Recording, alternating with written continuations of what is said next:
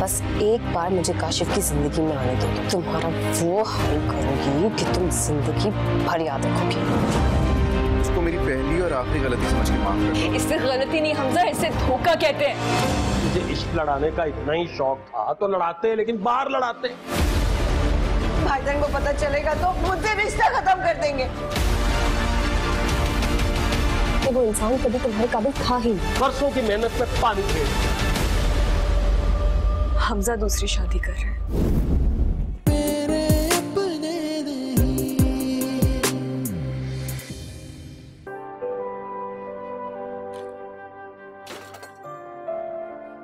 आज तो बहुत मज़ा आया यार।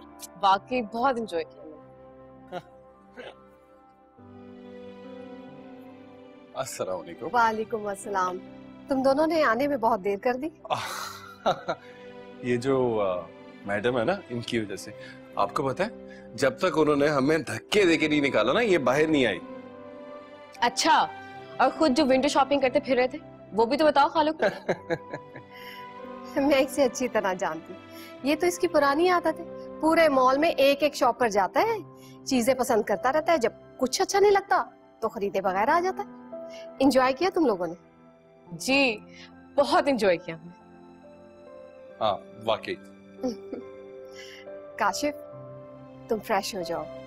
मुझे तुमसे ज़रूरी बात करनी है। मैं आती हूँ। ठीक है। ये बैग्स मैं भी फ्रेश होने जाती हूँ।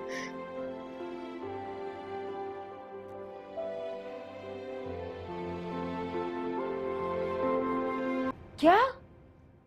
तुम होती कौन हो एतराज़ करने वाली? शादी के खिलाफ बोलने वाली? शुमाइला मर चुकी है। और काशिफ सारी ज़िंदगी तो उसकी याद में अकेले नहीं गुजार सकता ना। बच्चों ने सही फैसला किया है। मुझे काशिफ भाई की शादी से एतराज़ नहीं है, अम्मी। मुझे इस बात का एतराज़ है कि नेहा की काशिफ भाई से शादी हो। मैं अगर तुम्हारी तरह सोचूं तो मुझे भी अच्छा नहीं लगेगा। मगर मैं तुम्हारी तरह नेहा से नफरत नहीं करती। बिल्कुल सही फैसला किया भाई साहब और बच्चों ने। आखिर नेहा की भी तो शादी करनी होगी ना? तो काशिफ से शादी करने में क्या बुराई है? अम्मी, क्या आप जानती हैं? कि मायला की मौत की असल जिम्मेदार नेहा है, नेहा। हाँ और मायला नेहा से बहुत नफरत करती थी। और अब वो नेहा साहिबा काशिफ भाई से शादी करने के ख्वाब देख रही है। ये तो मैं हरगिज नहीं बताओ बिल्कुल भी नहीं। मरियम अगर मेरी जबान बंद है तो उसे बंद रहने दो।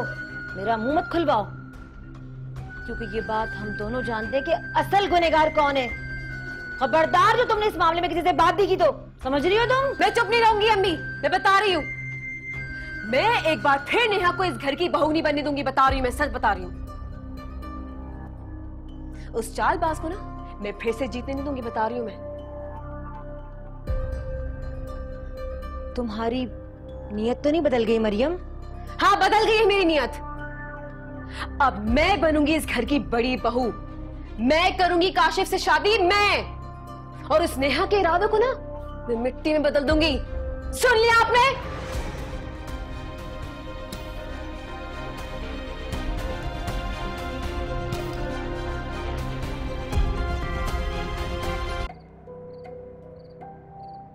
मेरी बात ही नहीं सुन रही। मैं कह तो रहा हूँ, मैं तुमसे प्यार करता हूँ।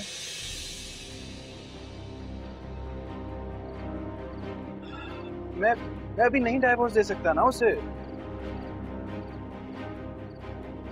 अच्छा ठीक है, हम हम कल मिल रहे हैं ना, कल हम दोपहर को मिलते हैं, उसी रेस्टोरेंट में मिलेंगे, फिर बात करते हैं इस बारे में। तू मेरी बात ही नहीं समझ रही। मैं मैं तुम्हें समझा तो रहा हूँ, इतना आसान नहीं है रमशा को छोड़ना। नहीं है आसान, इन हालात में तो बिल्कुल भी नहीं आसान छोड़ना उसको। मैं मैं मैं तुमसे कह रहा हूँ ना, हम कल मिलते हैं, मैं तुम्हें फिर समझाऊँगा कि मैं क्यों मजबूर हूँ उस बांझ औरत के साथ रहने पे। हाँ इतनी सी तो बात है। तुम समझ नहीं रहे मेरी बात? मैं नहीं उसे प्यार करता, मैं तुमसे प्यार करता हूँ।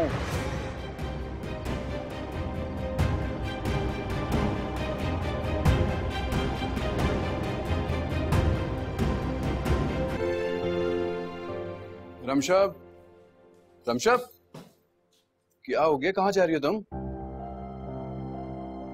अच्छा मेरी बात सुनो। बैठो। बैठो ना, मुझे बात कर रमशा तुम्हें कोई गलत फहमी हुई है? ऐसी कोई बात नहीं, जैसे तुम सोच रही हो। मैं तुमसे मोहब्बत करता हूँ यार। कहाँ जा रही हो तुम मुझे छोड़ के? मैं नहीं रह सकूँगा तुम्हारे बगैर, मैं तुमसे प्यार करता हूँ, मैं तुम्हारे अलावा किसी और पर सोच भी नहीं सकता। मैंने तो यार तुमसे लव मैरिज की है, मैं कैसे तुम्हें धोखा दे सकता हूँ? सोचो ना, मैं मैंने ऐसा कोई काम नहीं किया जैसा तुम सोच रही हो। आप मेरी बात सुनो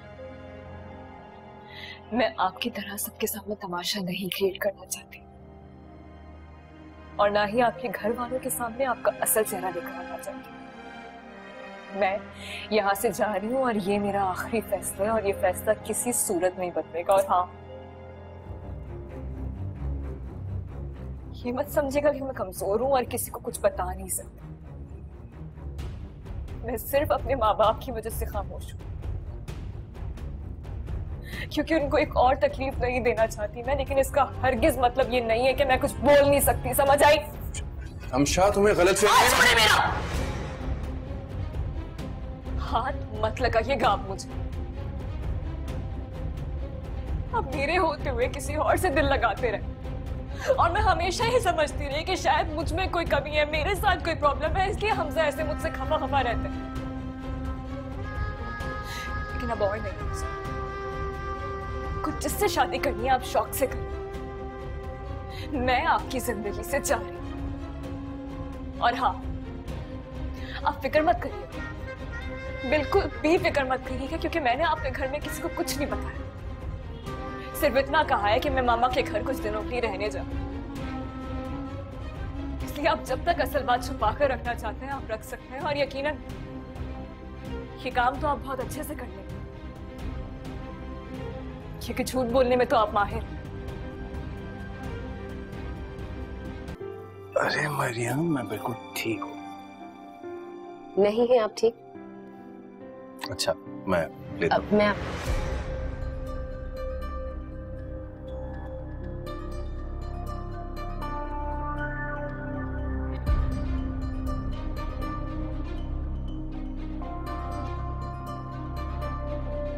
मैं पी लेता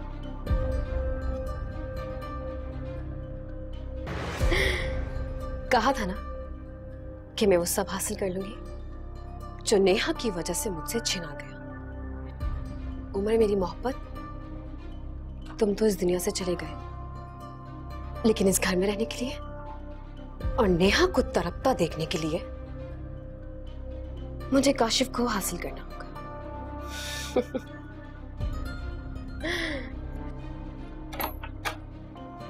मरियम क्या कर रही हो यहाँ पर? अब कुछ नहीं। और क्या छुपाया है तुमने?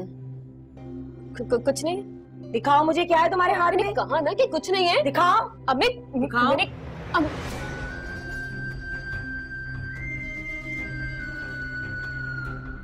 थोड़ा भी शर्म लिहाज नहीं है तुम्हें मरियम। चलो मेरे साथ। अरे मैंने कुछ नहीं चलो। अब मेरी बात अरे मैंने कुछ नहीं किया अम्मी। क्या? आपको चलो मेरे साथ। अम्मी अम्मी छोड़े ना मुझे, चलो। अम्मी, छोड़े। क्या किया है मैंने? शर्म नहीं आती। चाहती क्या है? क्या चाहती है तू? क्यों सबके सामने मुझे जलील करवाने पर तुली हुई है? काश काश मैंने तेरे हर बुरे फैसले और गलत हरकत को रोका होता और ये थप्पड़ पहले मारा होता। तो आज मेरी शुमारा ज़िंदा होती। मैंने क्या कर दिया? अगर रमशा ने मामू को बता दिया तो। मामू की दौलत से भी जाऊँगा और अब्बू की क्या बुड़बुड़ा रहे हो? पागल हो गए हो क्या? अब्बू अभी मैं किसी बहस के मूड में नहीं हूँ। ऐसी की तैसी तेरी। तमीज से बात किया कर। जबान तेरी ज़्यादा चलने लगी है। तुम भूल जाते हो कि मेरे घर में रहते हो मेरे टुकड़ों पे पलते हो। अच्छा अब्बू ठीक कह रहे हैं आप। ठीक है अब्बू और नाहिद और रमशा और कहा मर गए सब लोग? जी। कहाँ हो तुम? और ये रिमशा कहाँ है? रमशा तो नेहा के साथ चली गई। क्या मतलब? कहाँ चली गई? आपको बताया तो था वो अ, उसामा के रिश्ते के लिए कुछ लोग आ रहे हैं वो साथ चली गई। नहीं चली गई मगर किससे पूछ के गई है? कैसी बातें कर रहे हैं आप महमूद? हमजा ने कहा था उसे जाने को। अच्छा। हमजा ने कहा और वो चली और तो किसी से पूछने की ज़रूरत नहीं है ना। मैं तो पागल हूँ। मैं इस घर का बड़ा हूँ या क्या हूँ? मेरी कोई हैसियत औकात है? महमूद आप तो घर पर ही नहीं थे। और क्या कयामत आ गई अगर वो चली गई आपसे पूछे बगैर? कयामत ही आ गई। बिल्कुल कयामत आ गई। बदतमीजी और बद तहजीबी की कोई इंतहा होती है। तुम्हारे भाई साहब से बात करनी पड़ेगी दो टोक। क्या बात हुई मेरी बात सुनिए ऐसे ये सब नहीं करें। सबके पर निकल आए हैं। सबके पर कतरने पड़ेंगे मेरी बात सुनिए महमूद